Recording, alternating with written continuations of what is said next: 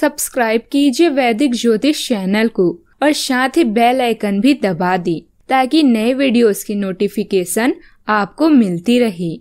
जय संतोषी माँ। दोस्तों, स्वागत है आपका वैदिक ज्योतिष में। जानते हैं आज क्या कहती है आपकी राशियाँ। कैसा रहेगा आपका दिन? शुरुआत करते हैं आज के सुविचार से। सफल रिश्तों के यही वसूल है। वो सब भूलिए जो फिजूल है। छल में बेशक बल है। माफ़ी आज भी हल है। इंसान की चाहत है कि उड़ने को पर मिले और परिंदे सोचते हैं कि रहने को घर मिले। लौट आया हूँ वापस घर की तरफ़। हर रोज थका हारा। आज तक समझ नहीं आया कि जीने के लिए काम करता हूँ या काम करने के लिए जीता हूँ। आज का पंचांग। 11 जनवरी 2022 दिन मंगलवार। पौष मास के शुक्ल पक्ष की। नौमी तिथि, दोपहर दो बजकर बाईस मिनट तक रहेगी। इसके उपरांत दशमी तिथि प्रारंभ हो जाएगी। अश्विनी नामक नक्षत्र सुबह ग्यारह बजकर दस मिनट तक रहेगी। इसके उपरांत भरणी नामक नक्षत्र प्रारंभ हो जाएगी। आज का राहु काल अर्थात दिन का सबसे अशुभ समय, दोपहर तीन बजकर पंद्रह मिनट से चार बजकर पैतीस मिनट तक रहेगा। आज का जीत मुहूर्त, अर्थात दिन का सबसे शुभ समय दोपहर बारह बजकर तेरह मिनट से बारह बजकर छप्पन मिनट तक रहेगा। आज चंद्रमा मेष राशि पर संचार करेगी और आज सूर्य धनु राशि पर रहेंगी। मकर राशि 11 जनवरी 2022 दिन मंगलवार। आज अवकाश या रोमांस के लिए समय निकालें। नए विचारों या आध्यात्मिक लोगों की तरफ़ आकर्षित हो सकते हैं। अपने सूझबूझ का प्रयोग करें, किंतु कारणों को नज़रअंदाज न करें। खासकर जब बात मौके का फ़ायदा उठाने की आती है। कोई बुज़ुर्ग शायद दादाजी आपके दिमाग में सुखद विचार लाएँगे। माता पिता का स्वास्थ्य आज का माता पिता का स्वास्थ्य आज चिंता का विषय हो सकता है। अपने मामलों को स्वयं सुलझाने की कोशिश करें।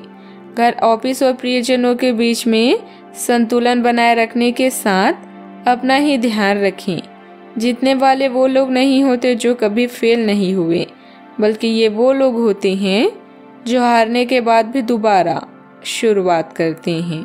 आज किसी प्रभावशाली और वरिष्ठ व्यक्ति के सानिध्य में बेहतरीन जानकारी सीखने को मिलेगी।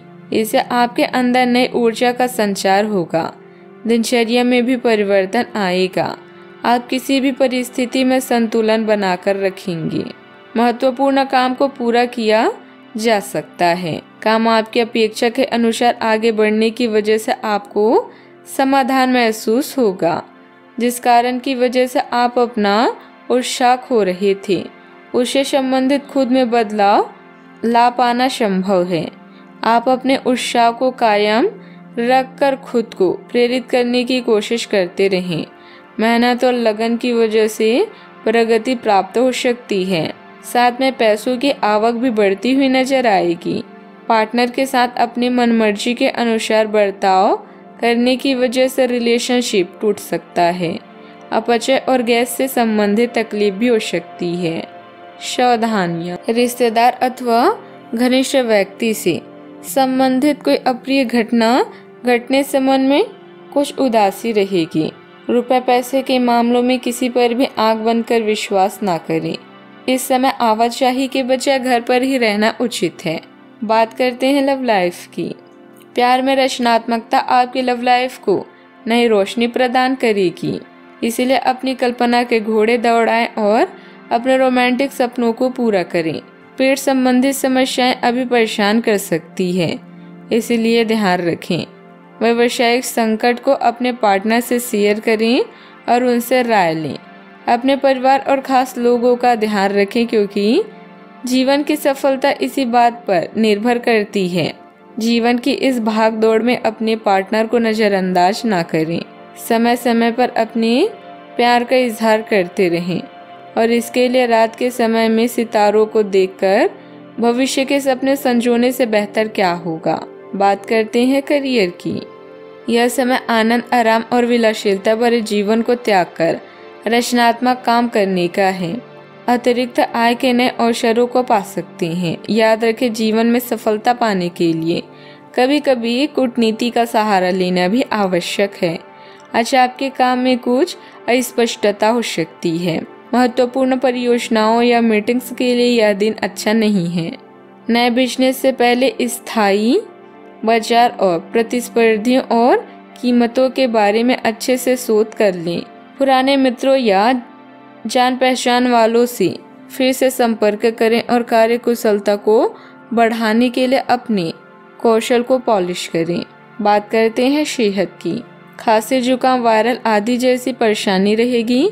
यह समय अपने स्वास्थ्य के प्रति ज़्यादा ध्यान देने का है। लापरवाही बिल्कुल ना बरतें। आज का उपाय। आज आप हनुमान भगवान जी के समक्ष सरसों के तेल से दीपक जलाएँ, शुभ रहेगा।